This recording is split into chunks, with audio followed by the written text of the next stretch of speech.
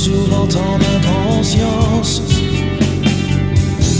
Je ne sais pas comment m'ajuster face à tant d'ignorance. Autour des tripes d'un adolescent sont maintenant figés dans le temps, mais je me sens pas pour autant. Brillant, même après en